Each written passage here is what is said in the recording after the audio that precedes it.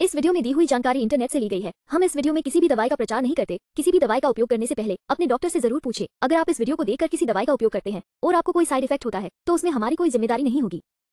ट्राइनजिक L capsule में benfotiamine, cyanocobalamin, chromium, selenium, ginseng, lycopene, pyridoxine, गेहूँ के बीज का तेल और जिंक सल्फेट शामिल है। यह एक पोषण पूरक है। जिसका उपयोग मधुमेह और हृदय रोगों वाले लोगों द्वारा आहार अनुपूरक के रूप में किया जाता है। चलिए जानते हैं इसके कुछ फायदों के बारे में। एक जिनसेंग संचित लैक्टिक एसिड को मांसपेशियों में पुनर्वितरित करने और इसे ऊर्जा में परिवर्तित करने में मदद करता है। इसका इम्यूनोमॉड्यूलेटरी प्रभाव होता है, क्योंकि यह इम्यूनोग्लोबुलिन के निर्माण को बढ़ाता है। दो जिनसेंग मस्तिष्क सहित शरीर में परिसंचरण में सुधार करता है। इसलिए ध्यान में सुधार करता है और मनोभ्रंश को रोकता है।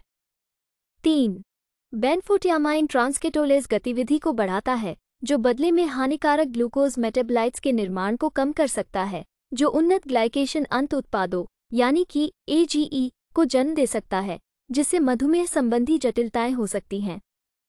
ये डायबिटिक रेटिनोपैथी का प्रबंधन करता है। चार डायबिटिक न्यूरोपैथी के रोगजनक रूप से उन्मुख प्रबंधन के बीच बेनफोटियामाइन और अल्फ़ा लिपोइक एसिड को पहली पसंद माना जाना चाहिए।